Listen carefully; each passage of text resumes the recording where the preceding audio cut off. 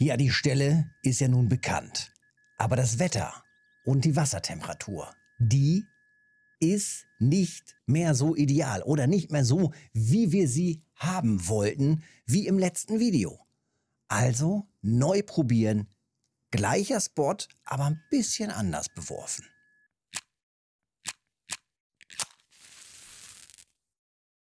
Also, bisschen anders testen.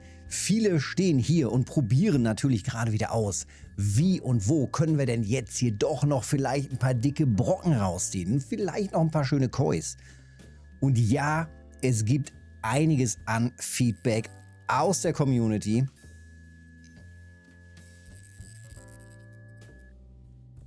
Und äh, tatsächlich gibt es im Discord von der Martina auch noch einen Beitrag, die hat das äh, noch gepostet hier, gleiche Stelle mit ähnlichem Setup wie auch im letzten Video.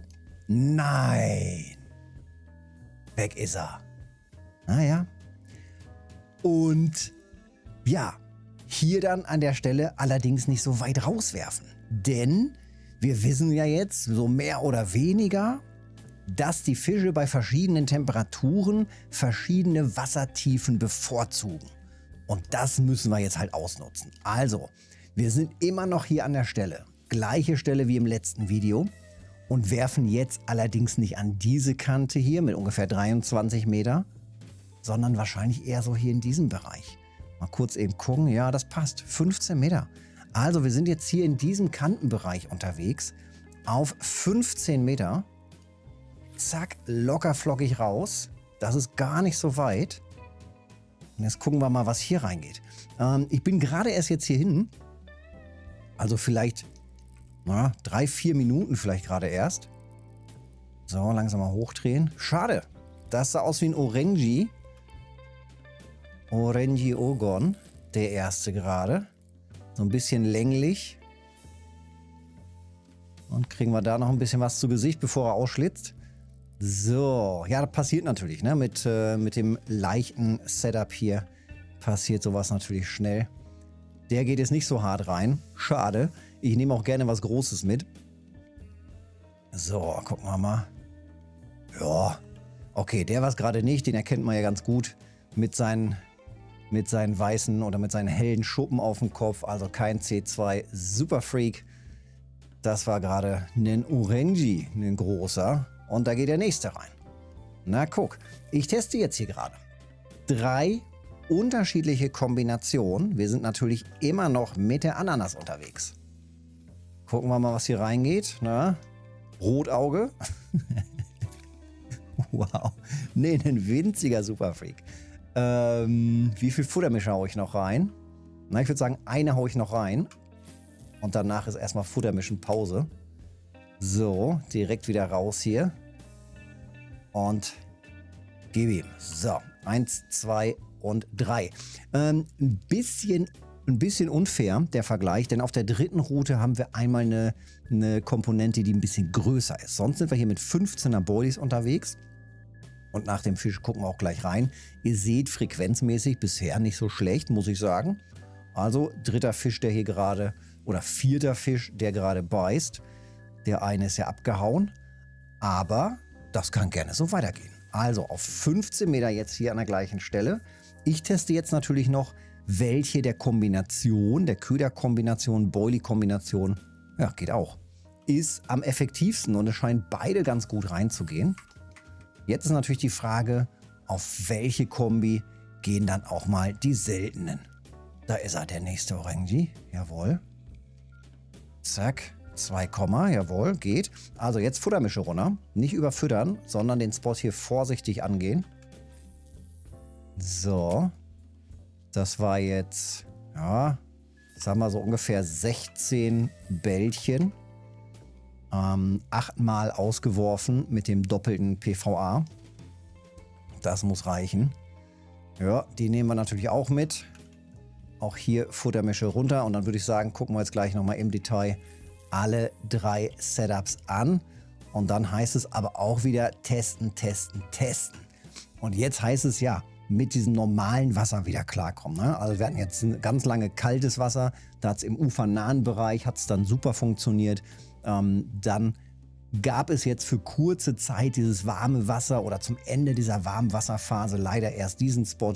Und jetzt gucken wir und sehen aber auch, dass in diesem Mittelwasser bei Normaltemperatur wieder was funktioniert. Ich hatte heute Vormittag auch hier in diesem Bereich probiert. Da war auch ein bisschen was los. Was auch ganz gut funktioniert, ist hier die Area, ob man das hier von 61, 62 bewirft oder von hier oben von diesem Spot.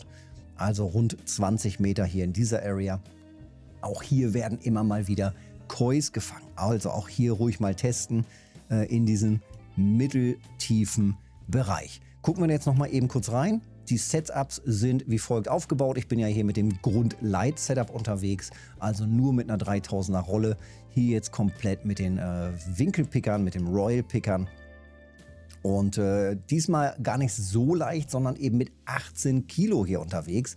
Das heißt, der Fisch von gerade, der konnte eben so richtig die 16 Kilo Bremskraft ausnutzen. Also der hatte ein bisschen Bock, hatte auch dementsprechend die Größe. 15er hm, und 15er Ananas. Ananas 15, Ananas 15, Ananas. Und äh, in, den, in die Futtermische, in das PVA, gucken wir natürlich auch gleich noch rein. Das hier ist das zweite Setup.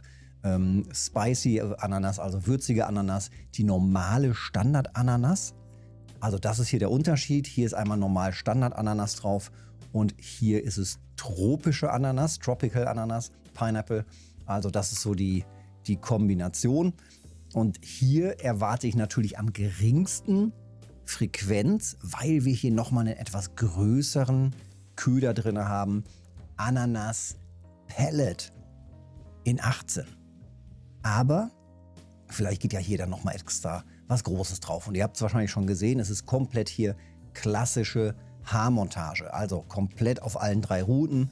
Äh, klassische Haarmontage. Ähm, ja, 18 Kilo Vorfach funktioniert sehr gut. 20 Zentimeter ging also schon richtig gut los. Und dann haben wir hier jetzt auch noch die Futtermische.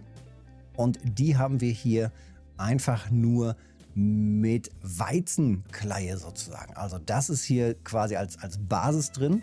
Dann haben wir hier die Ananas natürlich wieder. Crushed Ananas, 15 äh, und tropische Ananas, also spicy und tropisch, unterschiedliche Ananas 15 und 12. Und dann gibt es ja diese beiden Feed Pellets, also das hier ist wieder 100% Ananas. Und natürlich mit Ananas-Dip. Deswegen ist es hier meine 100% äh, Pineapple, 100% Ananas. Und damit scheint das ganz gut zu gehen. Und damit hatte ich auch an den letzten Spots ganz gut Erfolg. Auch hier, wie gesagt, in diesem Bereich ging das ganz gut. Ähm, ja, ohne das teure Weizenkorn. Ob das jetzt, wie gesagt, so ausschlaggebend ist, weiß ich nicht. Ist vielleicht eine gute Komponente. Ähm, kann man vielleicht eher verwenden, wenn man irgendwie mit Weizenkorn auf Barbe angelt oder sowas am Bärensee. Das geht ja auch mal ganz gut. Aber jetzt so für die Kois, ja, ich würde sagen, wahrscheinlich einfach nur eine teure Komponente. Ähm, ja, so viel dazu. Ich glaube, der Spot ist äh, bekannt. Es ist alles gesagt. Ähm, es gibt zurzeit auch noch ein paar Infos im Discord, von daher gerne auch im Discord reinschauen. reinschauen. Link zum Discord direkt unter dem Video. Und dann rein ins Wochenende, raus mit den Kois. Petri Öllemils, wir sehen uns im nächsten Video oder im Livestream montags, mittwochs und freitags immer ab 19 Uhr. Bis dahin.